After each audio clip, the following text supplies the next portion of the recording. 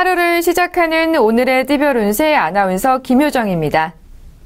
10월의 첫째 날인 오늘은 바로 국군의 날이기도 합니다. 1950년 10월 1일은 한국군이 남침한 북한 공산군을 반격한 끝에 38선을 돌파한 날로서 이날의 의의를 살리기 위하여 바로 국군의 날로 지정이 된 건데요.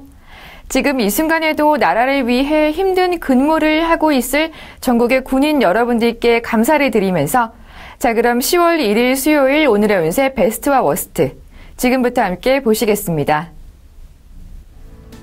먼저 베스트 3입니다. 첫 번째 소띠 1937년생입니다. 오늘은 그동안 마음속으로 고민하던 일들이 깨끗하게 해결될 수 있는 하루입니다. 두 번째 용띠 1976년생입니다. 뜻밖의 행운이 찾아올 수 있습니다. 또한 하군이 따르는 하루 되겠습니다.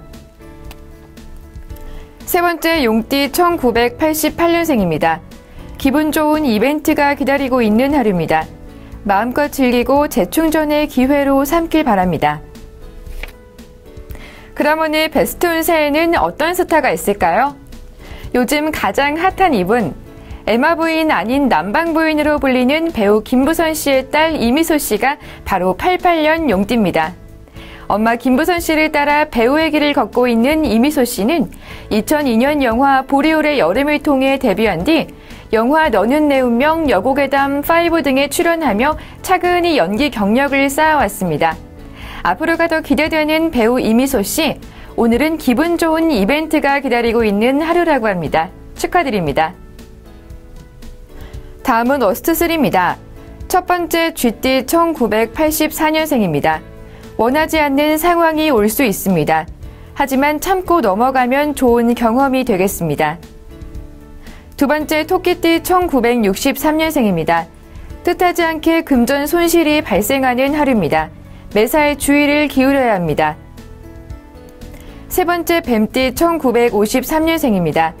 오늘은 여러 가지로 좋지 않습니다. 저녁엔 문단속을 철저히 하고 가까운 사람을 너무 믿지 않는 게 좋겠습니다. 그럼 오늘 worst 운세에는 어떤 스타가 있을까요? 요즘 장안의 화제인 드라마죠.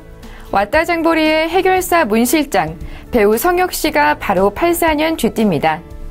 성혁 씨는 왔다 장보리에서 최강악녀 연민정을 향한 치열한 복수전을 펼치며 연민정 헌터로 활약하고 있는데요. 매 순간마다 시청자들의 답답한 속을 긁어주며 탄산남, 문사이다라는 별명까지 얻기도 했습니다. 그런데 성혁 씨 오늘은 원하지 않는 상황이 올 수도 있다고 합니다. 주의하셔야겠습니다. 지금까지 10월 1일 하루를 시작하는 오늘의 운세 베스트 워스트였습니다. 수요일인 오늘은 서울의 아침 기온이 14도까지 내려가면서 이번 가을 들어 가장 쌀쌀하겠습니다. 낮과 밤의 기온차는 여전히 클 것으로 예상되는데요. 아침 최저 기온은 9도에서 17도, 낮 최고 기온은 19도에서 27도가 되겠습니다. 오늘은 전국적으로 가끔 구름만 많겠지만 내일은 전국에 또다시 비가 내리면서 기온은 한층 더 내려갈 전망입니다. 그럼 오늘도 모두 활기차고 건강한 하루 보내시길 바랍니다.